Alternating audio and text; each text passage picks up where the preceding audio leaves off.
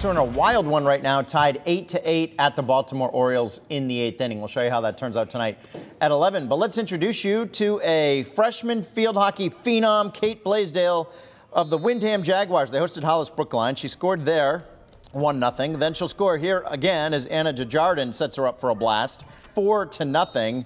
And we'll see her score another one. She had four goals in the game. She's just a freshman. I saw her play last year in junior high. She has a wicked shot, probably the hardest shot I've ever seen in field hockey at any level.